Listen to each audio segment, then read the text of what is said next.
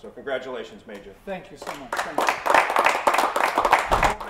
It's an annual sign of the holiday season. The Salvation Army received a big check that's a little too big, in fact, to go in one of their red kettles, but the money will still go for a good use. Valu Home Centers gave the Salvation Army a check for more than $36,000 today.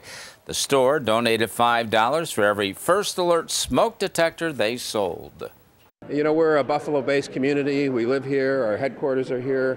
You know, we think it's our obligation to give back to the community. And again, the Salvation Army does so much great work that we're, uh, we're fortunate to partner with them. This partnership with uh, Valu Home Center is critical to the work of the Army here in our region. And uh, this donation today, this gift, will go a long way in helping to support lives in our community. We're most gracious for it.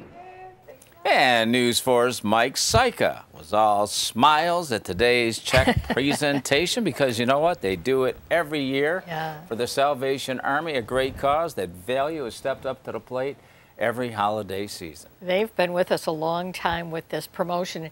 Years ago, it used to be the highway emergency Remember kit. those? that Jumping they would- cables, They were selling, Yeah. yes, which we haven't really needed so much lately, Todd.